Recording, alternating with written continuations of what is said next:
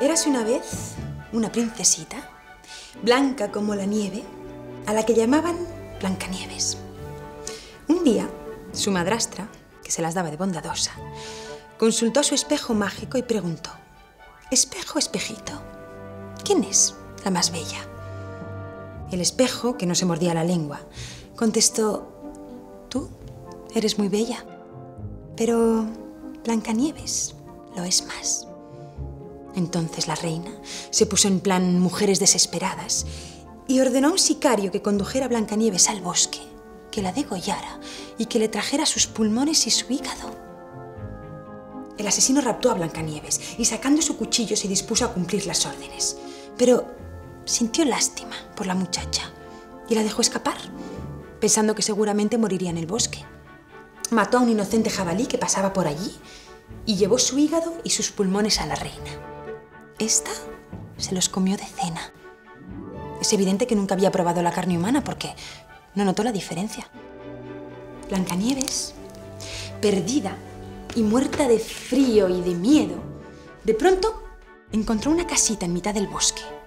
Resultó que esa casita era el refugio de siete enanos rebeldes que querían derrocar a la reina, sirviendo a un príncipe extranjero. Por lo que, cuando vieron a la princesa, no dudaron en ayudarla. Sabiendo que la reina volvería a consultar con su espejo mágico, decidieron fingir que encontraban el cuerpo sin vida de Blancanieves en el bosque y que lo enterraban en un ataúd de cristal para rendirle homenaje. La reina vio la escena a través de su espejo mágico y corrió como una loca al entierro de su enemiga.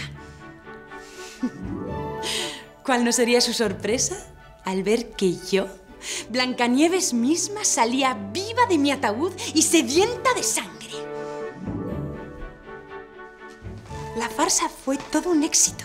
Llegué triunfante a palacio. Lo primero que hice fue mandar encerrar a mi padre en prisión. Y a mi madrastra le calzamos unos zapatitos de hierro al rojo vivo que le hicieron bailar y bailar como una loca hasta caer muerta, entre humo y olor a carne quemada. Nombré ministros a los siete enanos rebeldes. Y yo me casé con el príncipe extranjero. Y fuimos felices felices para siempre.